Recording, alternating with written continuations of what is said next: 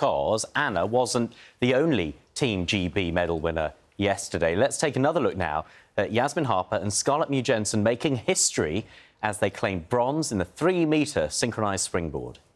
Happen in diving. Here we are. 48.60. It's not enough for a medal for the Australians.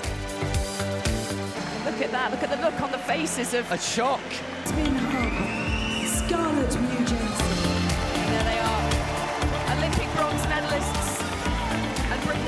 What a wonderful start to the Olympics for them, for us, and of course, for their families. We're joined now from Paris by Yasmin's mum, Emily, dad, Sean, and sister Iola, as well as Scarlett's mum, Charlotte, dad, Steve, brother, George, and friend, Kirsty. Welcome to you all. Very good to have you with us on the programme. Uh, firstly, uh, to Yasmin's family, uh, that must have been an epic thing to be there to see. How, how are you all feeling this morning?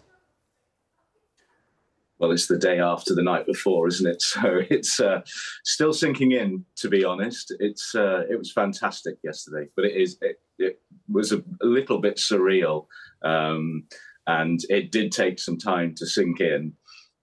Emily, you must be bursting with pride. Yeah, I'm just really pleased for Yasmin. Um, she's worked so hard for this, and for Scarlett too. Just so pleased for them both.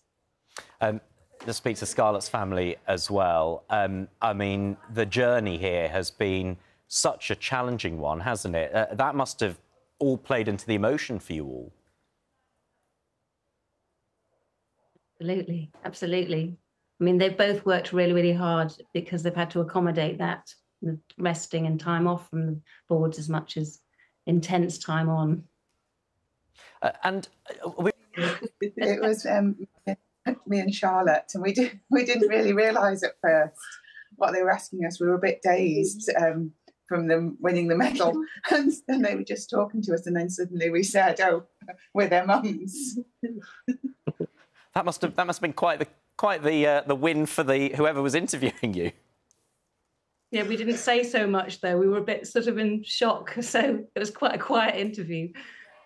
Um, Iola, as um, you know, as Yasmin's sister, you must have been so thrilled to see that. What what goes into getting that kind of winning performance? What do you see her do, and, and you know the commitment it takes? I mean, she's she's so committed. She's always been a sports person. She's you know she's done hours and hours and years and years of work. First in gymnastics and then in diving. She's put so much into it. You know she she sacrifices so much to you always knew she was going to do something because she's so determined um, but it's really nice to see all her hard work pay off because she's put so much in. Uh, and kirsty as uh, scarlett's best friend or one of scarlett's uh, best friends you i mean you must be planning a, a, a celebration of, of some scale for when she's back. What have you got in mind I'm not sure. I think I'll leave that up to Scarlett. Whatever she wants. I mean, she deserves. She honestly deserves the world. So, as as a best mate, I'm just happy. I'm happy for her to have some time off and rest, and whatever form that takes, I'll I'll do it for her. You know, I'll accommodate whatever she wants. Uh, and to Yasmin's family, it is of course Yasmin's 24th birthday today. So the, the celebrations you've got to plan are all piling up. They're racking up. What are you going to do? Are you going to wait till after the Olympics is over? How, how are you going to play that? I think we're going to wait till after the Olympics is over because she's going back to London today, so um, to carry on training for the three metre event. So there won't be much time for celebration, unfortunately life of an Olympic athlete never stops, does it? never stops, never any rest, never any rest. What? Um, and just briefly, what you know, what what's it been like being there in Paris to see all of this there for yourselves and and to see you know those achievements? I mean, um, uh, George, you know, as as uh, Scarlett's brother, you know, how does that feel? Um, I think it's really special because obviously Scarlett went to Tokyo, but we could only see it on a computer screen. So it's like such a big difference to be able to be here in person and soak in the atmosphere, especially with the crowds and all the people around. It was brilliant.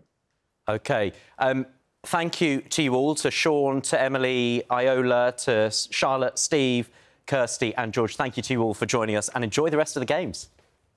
Thank you.